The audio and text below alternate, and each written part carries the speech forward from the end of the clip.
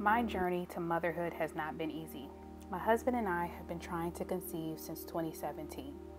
After trying for so long and getting negative pregnancy tests, we decided to seek treatment in 2019. During this time, I remember asking God to use me. I didn't know what this journey would entail, but I wanted God to use my story for His glory. God told me to share my fertility journey while I was going through it. Not realizing how many couples were suffering silently, I began sharing my story via my blog and social media accounts.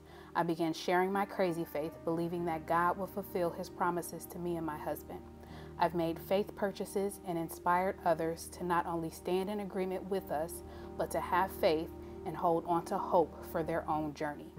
On this journey, we've experienced so much loss and so many disappointments. I've had three surgeries, gone through three rounds of IVF, we've had two miscarriages, one being twins, and one failed embryo transfer, a total of four babies lost. This journey is enough for anyone to give up, but my hope and my renewed strength keeps me going. I hold on to the promise of children God has given me.